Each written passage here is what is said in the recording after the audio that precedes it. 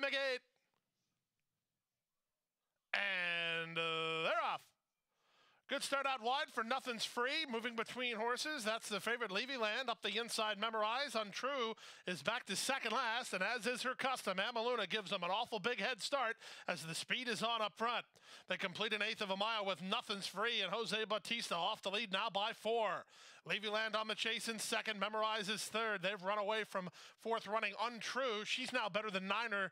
So off the lead and the gap of another five or six to the trailer Amaluna. 22 and 4. That's not that fast as they go past the half mile point. The advantage belongs to Nothing's Free. She's on top a length and a quarter. Memorize is second on the outside. Levy Land is third. Gap of another five or six.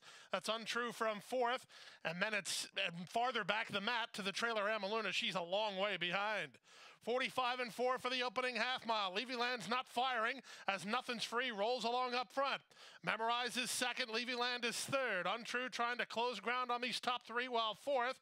And Amaluna's had some pace to chase, but she's just not involved yet through an opening half mile of 45 and 4. Now Amaluna's on a roll. She's last, but she's closing ground, and the pace setters appear to be vulnerable. Final eighth of a mile. Here comes Amaluna from way out of it. The daughter of Congrats is going last to first to win, and she'll win going away. How about that turn of speed? Amaluna from way back. Untrue second, Memorize third, then Nothing's Free.